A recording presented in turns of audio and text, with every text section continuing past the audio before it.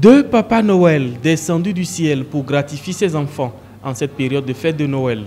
L'initiative de l'Association des femmes leaders de la commune d'Aboumé-Calavi est à sa quatrième édition.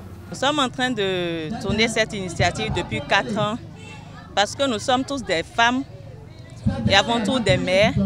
Et en tant que mère, lorsque nous voyons un enfant, nous voyons le sourire aux lèvres d'un enfant, cela nous apporte la joie au cœur.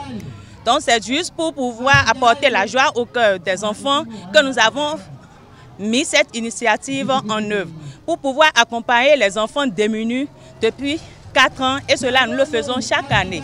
se voir l'enfant en joie, la paix dans, dans, la voix ou bien dans le cœur de l'enfant, cela nous rassasie. Plus de 200 enfants reçoivent ici leurs cadeaux et repartent sourire aux lèvres. Je suis content que Papa Noël m'a donné cadeau. Je suis togolaise. Pour prendre cadeau, j'ai fait trois ans de prendre cadeau ici. Vraiment, je suis tellement contente. L'initiative soutenue par plusieurs bonnes volontés en a davantage besoin. L'appel de la présidente de l'association pour perpétuer cet acte de générosité. Je